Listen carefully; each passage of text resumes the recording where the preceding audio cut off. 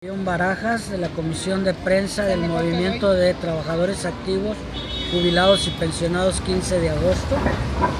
Estamos convocando para mañana una movilización para conmemorar el Día de la Enfermera que va a iniciar en el Parque San José y culmina con un acto político eh, cultural aquí en el Zócalo,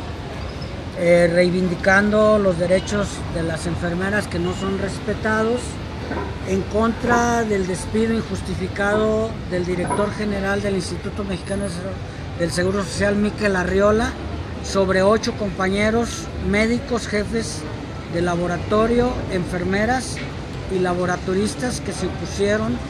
a la subrogación de los servicios de laboratorio autorizadas por este señor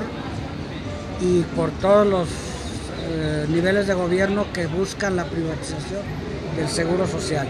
Además, por el derecho a la recuperación completa de las AFORE de todos nuestros asociados.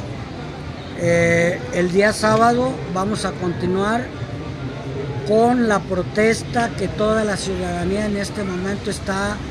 queriendo que se desarrolle de manera organizada, puntual